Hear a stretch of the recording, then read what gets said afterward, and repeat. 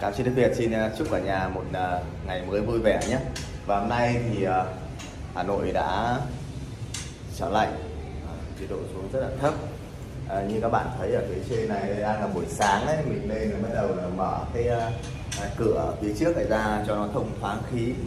Tuy nhiên thì hôm nay mình không không có để chim ra ngoài, mình để cái mặt này tránh trường hợp gió lùa bởi vì con chim này rét nó có thể chịu được uh, nóng một chút thì cũng ờ, có thể được nhưng mà gió lùa quá mạnh hoặc là gió giao mùa ấy thì là uh, mình cũng uh, cẩn thận một chút. Đấy để cho con chim nó thích nghi dần dần. Miền Bắc thì nói chung là bốn mùa nó cứ thay đổi thay đổi. Như vậy là mình cần thích nghi hơn.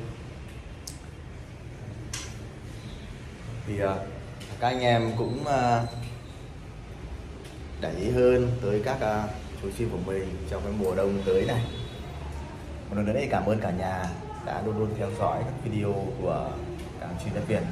Chúc cả nhà một ngày mới vui vẻ, sức khỏe, đam mê.